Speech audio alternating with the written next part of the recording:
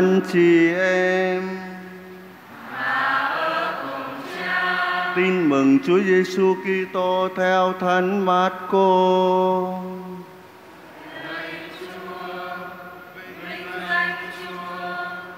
Khi ấy, ông cho an nói với Đức Giêsu rằng: Thưa thầy, chúng con thấy có người lấy danh thầy mà trừ quỷ.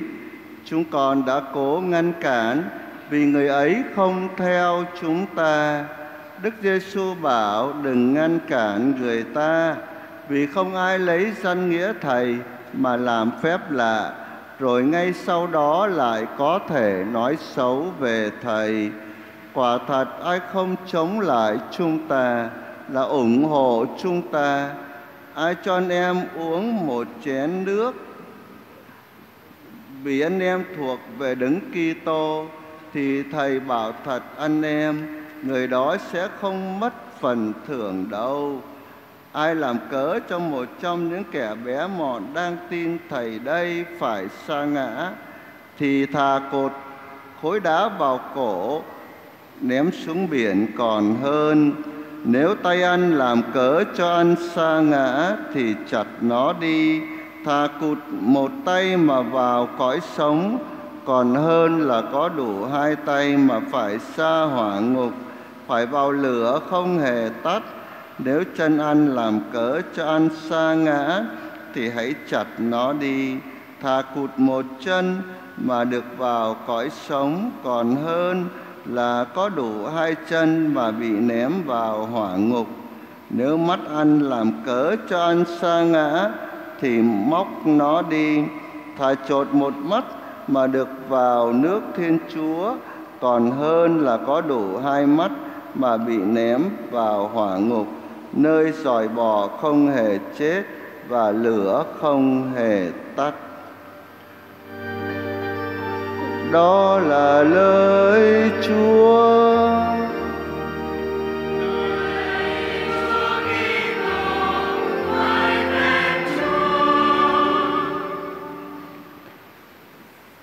Kính thưa quý ông bà và anh chị em, các bạn trẻ thân mến, khởi đầu sứ mạng công khai của Chúa Giêsu, việc làm đầu tiên của Ngài là tuyển chọn các tông đồ, huấn luyện các tông đồ và sai các tông đồ đi rao giảng tin mừng.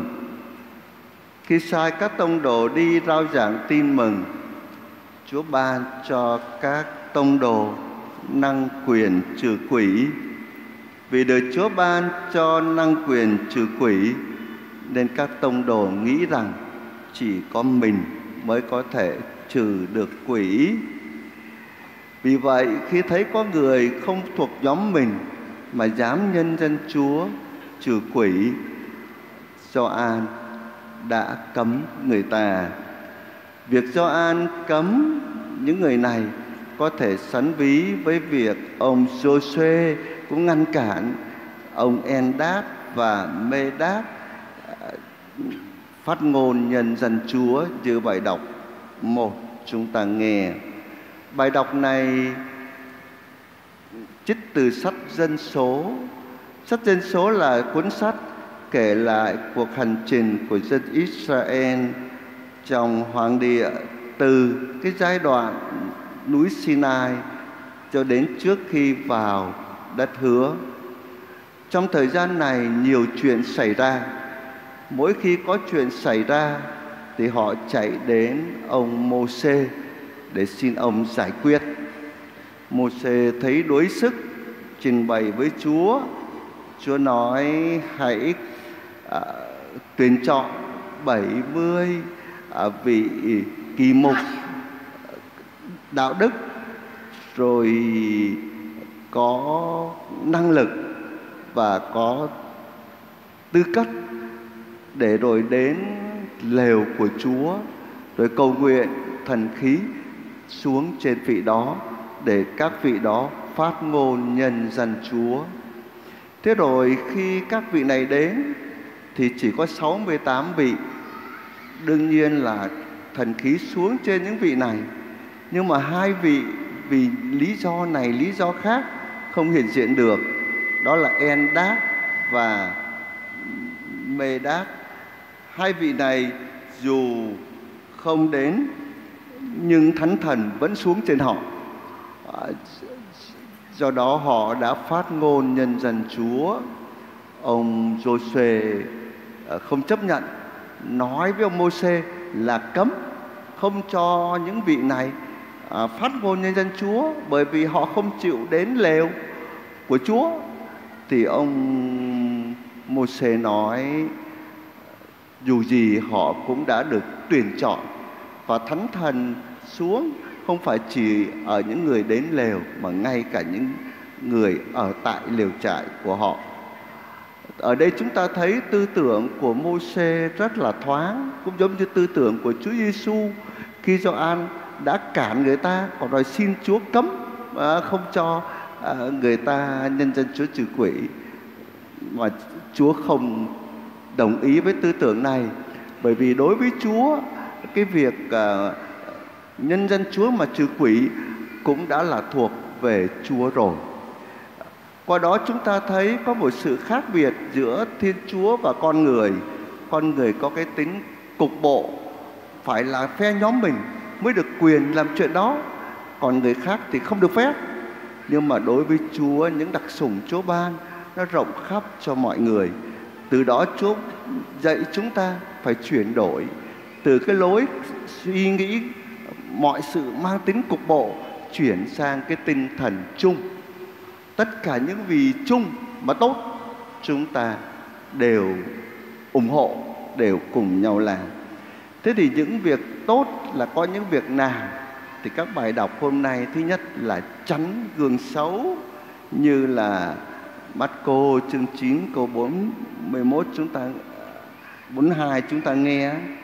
Ai làm cớ cho một người bé mọn mà đang tin phải sa ngã, thì thả buộc cối đá vào cổ quăng xuống biển. Nghĩa là tránh làm gương xấu rồi trong bài đọc 2 thì Chúa cũng lên án một số người làm gương xấu như là tiền công của người ta, rồi không trả, rồi lao theo cuộc ăn chơi, thác loạn, rồi giết hại người công chính, vân vân. Và ngày nay liên hệ đến những gương xấu có thể trong cộng đoàn là chia phe, chia phái, rồi công kết nhau, nói hành nói xấu cũng có thể gương xấu là nơi gia đình, vợ chồng bất hòa tranh cãi, rồi thậm chí có thể bỏ nhau. Rồi gương xấu nơi bản thân là có khi vướng vào những cái tệ nạn cờ bạc, rượu chè và nhiều điều khác, vân vân. Chú bảo phải dứt khoát với cái điều này. Đấy là cái điều và tất cả mọi người cùng chung để mà làm cái việc này việc thứ hai là thực thi bác ái. Trong mắt cô 9 câu 41 ấy, ai cho anh em uống một trong chén nước lá vì lẽ thuộc về đứng Kitô? Thì thầy bảo thật anh em người đó không mất phần thưởng đâu. Chúa dạy thực thi bác ái yêu thương. Bác ái yêu thương có thể là chia sẻ vật chất khi anh chị em mình cần bác ái yêu thương cũng có thể là thăm hỏi nhau. Bác ái yêu thương cũng có thể là vui với người vui, khóc với người khóc, như Roma ở chương 15 câu 12 Dạ. thì nhiều khi người ta thành công, mà mình cũng đang mong đợi thành công như vậy, mà mình không được. Bình thường là mình ghen tị đấy. Mình tìm cách mình hạ người ta nhưng mà tình yêu nó làm cho mình biết chung vui với người vui. Ông bản trẻ em cứ thấy những người cha, người mẹ khi thấy con cái nó vượt mình, đâu có ghen tị đâu mà mừng cho nó. Đấy, bác ái là vui với người vui, rồi khóc với người khóc khi người khác họ khổ đau mình chia sẻ. Rồi bác ái còn là chịu đựng khi sống với những người trai tính trai nết bác ái còn là nhịn nhục khi người khác khiến cho mình bực bội. Bác ái còn là tha thứ khi người khác xúc phạm đến mình.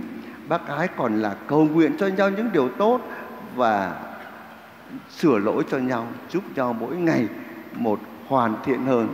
Đấy là cái việc chung mà tất cả những người theo Chúa đều phải làm.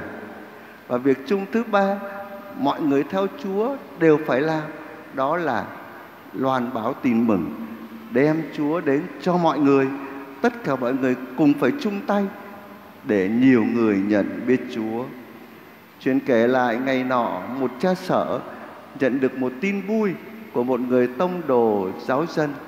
Người này cho biết là có một gia đình, hai vợ chồng có bảy đứa con muốn theo đạo thế là ngày đến thì hai ông bà này chia sẻ ông này nói khi còn nhỏ đi học ở trường La San rồi được các phe dạy à, nhiều kiến thức nhiều điều hay rồi tự nhiên có ấn tượng tốt với đạo.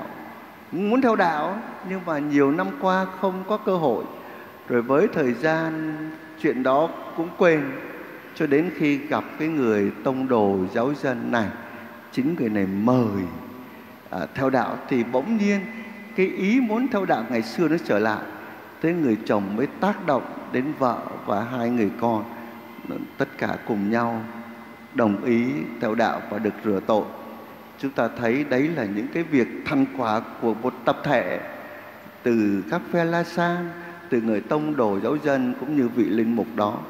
Xin cho cộng đoàn chúng ta biết đặt cái chung lên trên, cái chung của loan báo tin mừng, cái chung của việc bác ái cái chung của việc quyết tâm dứt khoát với những điều xấu, với những gương xấu trong môi trường sống của chúng ta khi chúng ta sống như thế, chúng ta đang sống tinh thần chung mà Chúa mời gọi chúng ta trong Chủ nhật hôm nay và cuộc đời của chúng ta sẽ nên đức hạnh thánh thiện và qua đó chúng ta trở nên hoàn thiện như lòng Chúa mong ước.